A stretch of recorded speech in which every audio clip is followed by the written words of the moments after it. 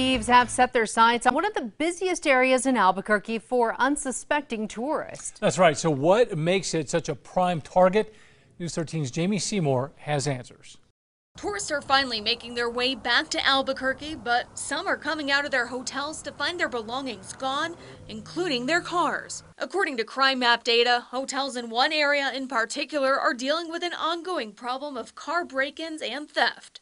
Over the last six months, there have been at least 25 reports of theft and break ins west of the Albuquerque Sunport, seven south of Yale and Gibson, and 34 north of the intersection. The concentration of hotels and the, the number of tourists that are concentrated in that one uh, small area, it, it gives them more opportunity. Imesh Vaidya is the CEO of Premier Hospitality, overseeing properties across the state.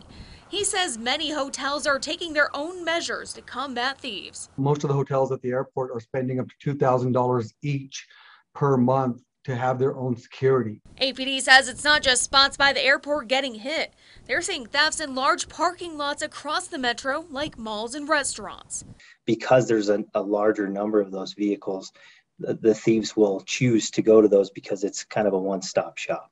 Over the weekend, the Las Cruces High Marching Band had their truck full of instruments and equipment stolen from their hotel near the airport. They lucked out after police found the truck later that evening with most of the gear still inside. Lending us equipment so that uh, the, the band could go ahead and compete. Others were not as lucky. The Acoma Buffalo Dance Group were also the victim of thieves over the summer at a hotel near the airport but the thousands of dollars in jewelry, moccasins, and more haven't been recovered, keeping them from performances. And it's not only just for our group, it's also for our traditional doings. APD says they're putting bait cars in those parking lots to catch the thieves, but Vaidya says more needs to happen, like increased patrols. We've learned that uh, we have to take measures into our own hands to keep our guests and our, our staff safe. Jamie Seymour, KRQE News 13. Since none of their stolen belongings were recovered, the Acoma Hopi Dance Group set up a GoFundMe account. We have a link to that. Just go to alwaysonkrqe.com.